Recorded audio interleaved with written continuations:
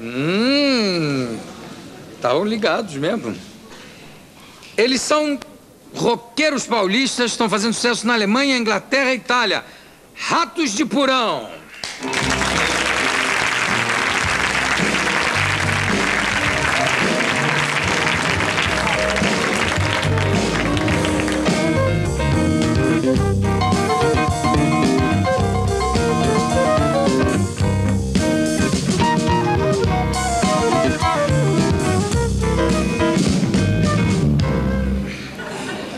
Olha só que, hein? Dá, dá um enquadramento assim lindo aqui, não é? Mas você já não é rato, já é uma ratazana aqui, não?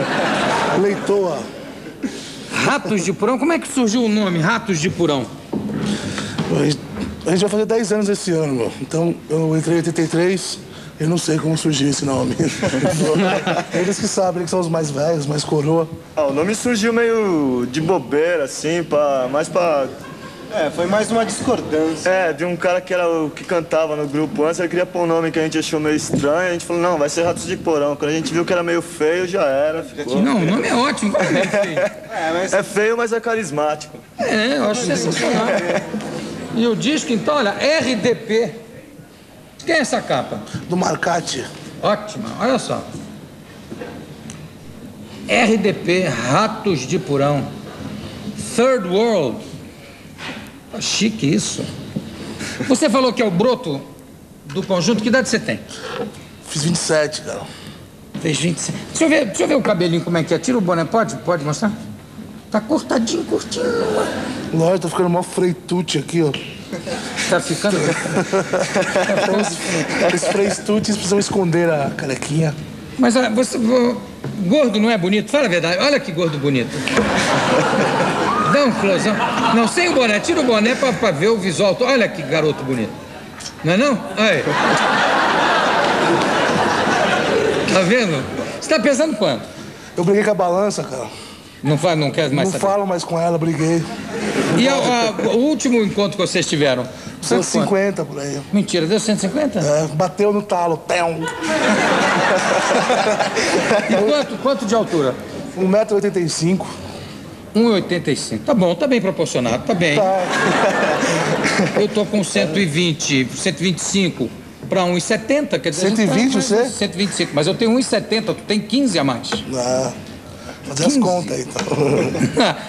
Você, como é- o nome de cada rato? Eu sou o João. João, Eu sou o Jarbas. Jarbas, Maurício. Maurício e Gordo. Da Silva. Gordo da Silva. Qual é o tipo de rock que vocês fazem? Vocês dizem, não, não é hard rock, é hardcore. Sabe Como é que é isso? A gente faz um lance bem muito violento, muito agressivo, falou? E eu acho que é a nossa única arma que a gente tem pra protestar o que a gente tá vendo por aí é a nossa música.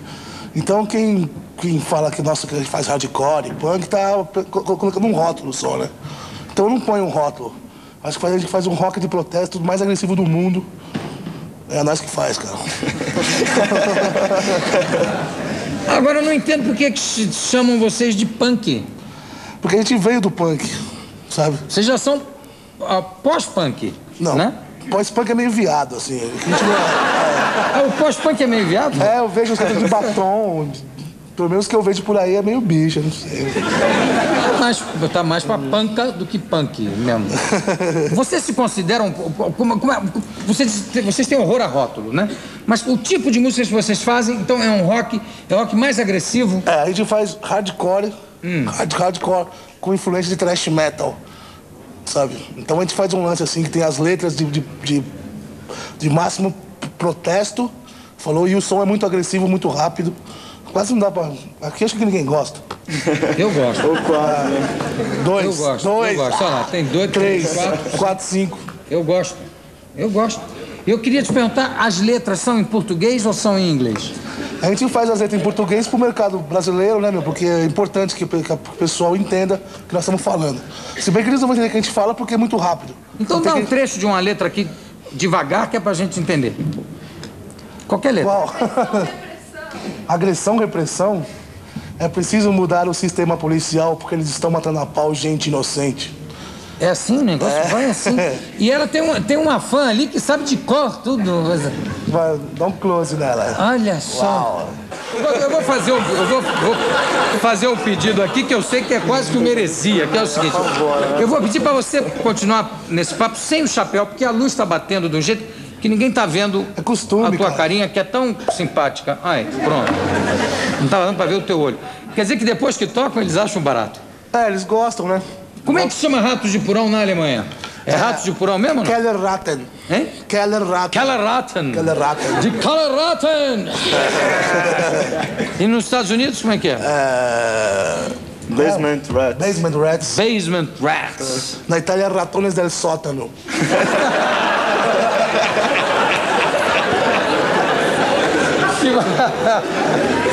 Isso é uma maravilha.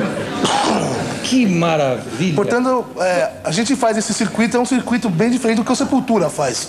Que eles fazem um circuito mais que ganha mais dinheiro, mais profissional. O Sepultura já é uma coisa assim mais. não é tão underground. E a gente é um lance mais político, a gente se preocupa com uns bagulho, falou meu. Tipo que. tipo que o, o último show que a gente fez na Europa ano passado foi em. ah, Onde foi? Foi em Amsterdã. Amsterdã. A gente fez um show, por incrível que pareça, em benefício aos sem terras aqui do Brasil. Maravilha. Quer dizer, a gente fez show lá, os sem terras ganharam dinheiro, não ganhamos nada. Quer dizer, pra mim é uma glória isso, né? Mas é o Fausto Silva Pena do rock. É impressionante. É impre...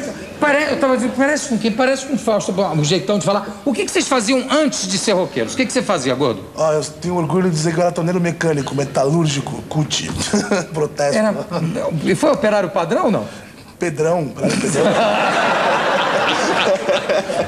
Pedrão. Quer dizer que você foi colega, foi colega do Lula, torneiro mecânico. Não, era torneiro mecânico. Eu fazia mola, não podia ver mola na minha frente, cara. Eu fazia duas mil molas por dia. Então eu não podia ver mola. Eu Duas mola. mil molas. Ah, mola, não quero ver mola. E você fazia o quê? Ah, eu pintei carro, fui borracheiro, me virava assim, sei lá. Foi borracheiro? Também. E você? Ah, eu fui. Fala no microfone. Eu fui soldador e marceneiro. Foi marceneiro? Que maravilha é isso? Quer dizer, é o rock saído realmente do peãozada. operário, Da né? peãozada, é. Marmita, assim, ó. É, total marmita. Total marmita. é uma banda marmita. Banda marmita. E você? Ah, eu estudava e fui mais ou menos marceneiro também. E surfista. Mais ou menos marceneiro? Como é que é isso? É porque meu pai tinha uma marcenaria e eu dava um trampo lá com ele de vez em quando. E surfista, quer dizer, você fazia prancha de surf Não, nunca surfei. na massa. Ah, nunca surf. É de Santos, o cara é novo da banda, entrou esses dias aí. E as tatuagens, gordo? Tatuagens, cara. Você tem muita tatuagem no corpo? Tenho. Vamos ver as tatuagens. Ah, mas tá mó frio, cara. Eu tirar meu jaco. Não, só. Tira! Tira!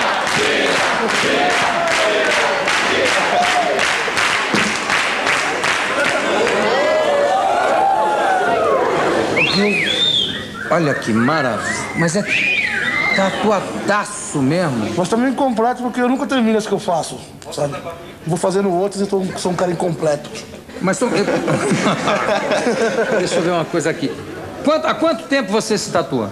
Ah, faz uns oito anos, eu acho. E o corpo todo é tatuado? Né, o peito, as costas, O peito também? é, uns pedaços, assim. Barriga também? Barriga Vamos não. ver logo tudo. Peito. Barriga não dá. Barriga não dá pra tatuar? Porque engorda, emagrece, engorda, emagrece, vai ficando meio tudo assim.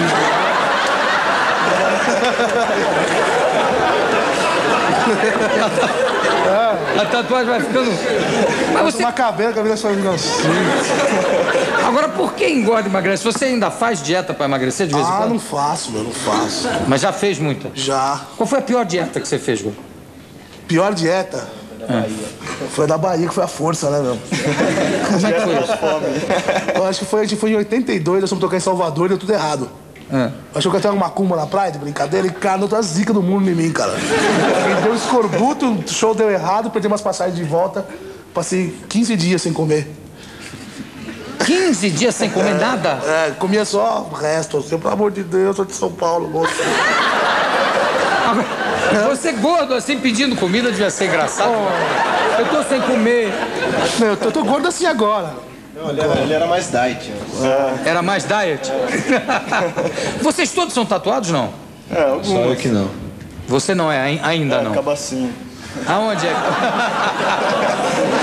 Você é tatuado aonde? Também no... Nos braços, né? Olha, mas que tatuagem bonita essa. A, a tua é a cores, né? As tuas não é gordo, é mais preto e branco. Eu né? gosto mais preto e branco. Essa colorida também ficou bonita. Também. eu gosto. Um dragão. Eu vou pedir pra vocês tocarem pra gente. Está todo mundo aqui fascinado. Fascinado. É mesmo? Tá mesmo, tá os bichos escroto. Olha só. Anarcofobia. Vamos ouvir os ratos de porão? Tá pronto aí? Tá, só vai tocar. Vamos lá, os ratos!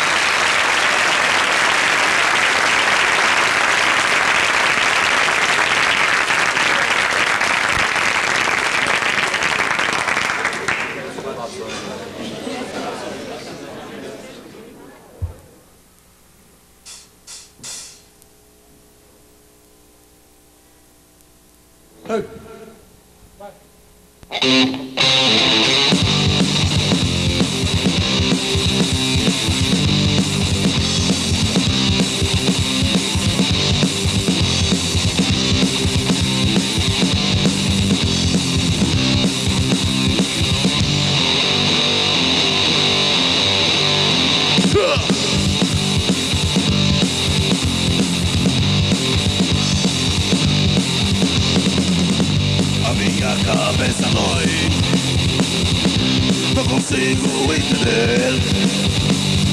A minha dúvida agora é bem maior. Não nasci para sofrer. Go!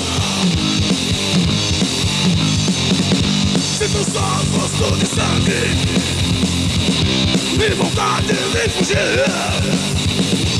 A minha pura agora é quase um prazer.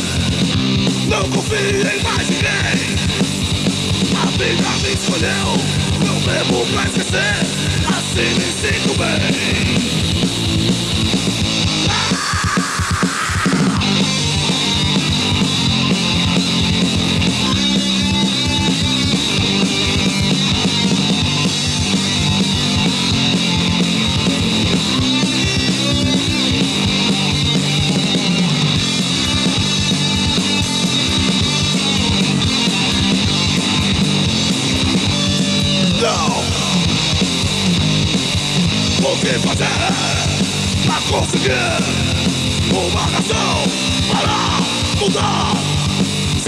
Sem perdoar Sem discutir Nunca vou dar Meu braço a você Andando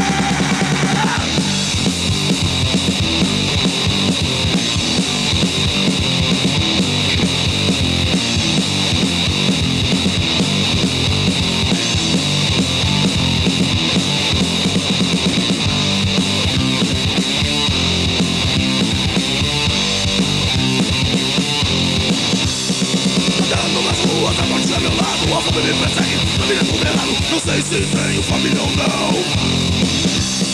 Comparando com o futuro, também o Assim ela na minha vida, essa é a ilusão Não quero a sua ajuda, por favor Agressão, compaixão, vem me confundir Emoção, distorção, paro pra pensar Sentimento, um momento de reflexão Sem amor, sem pudor, Fecho os olhos para o mundo. Que um dia me esqueceu A minha vida nunca teve algum valor. Vou morrer sem desistir Go!